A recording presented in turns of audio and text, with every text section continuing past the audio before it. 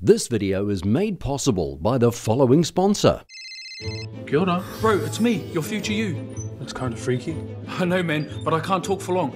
Get off the couch, go to eit.ac.nz and apply for that program you've always wanted to do. Trust me.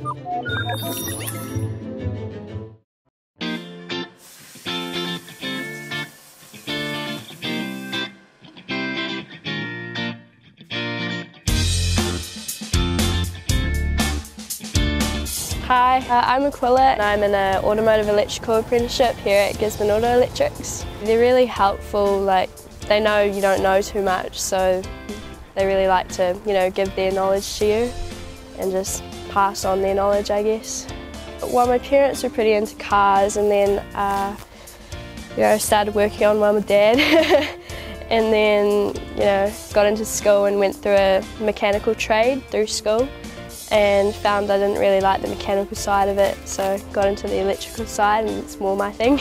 I was a work experience kid to start with and then after a few months I quite liked it and got straight into it. Usually we just have a look at the diary, see what's booked in for the day and then see what I can do. Basically we do everything from like alternators, starter motors, uh, battery swaps, uh, electrical windows that you're having problems with, uh, new head units, upgrade speakers and all that sort of electrical stuff. It's just really technical and like gets your brain working and it requires a lot of thinking and just you know problem solving. It's good to just get your hands dirty and you know learn new stuff I guess. After every job we got to do a job sheet and like things like E-road units uh, we also do a form for that that sends off to the E-road headquarters and just makes them road legal. I don't think a lot of females get into this sort of industry, but I think it would be good. You know, you get recognised a lot,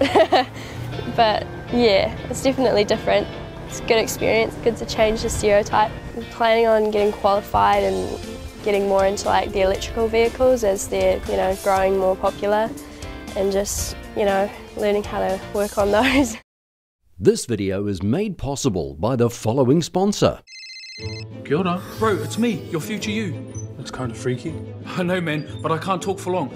Get off the couch, go to eit.ac.nz and apply for that program you've always wanted to do.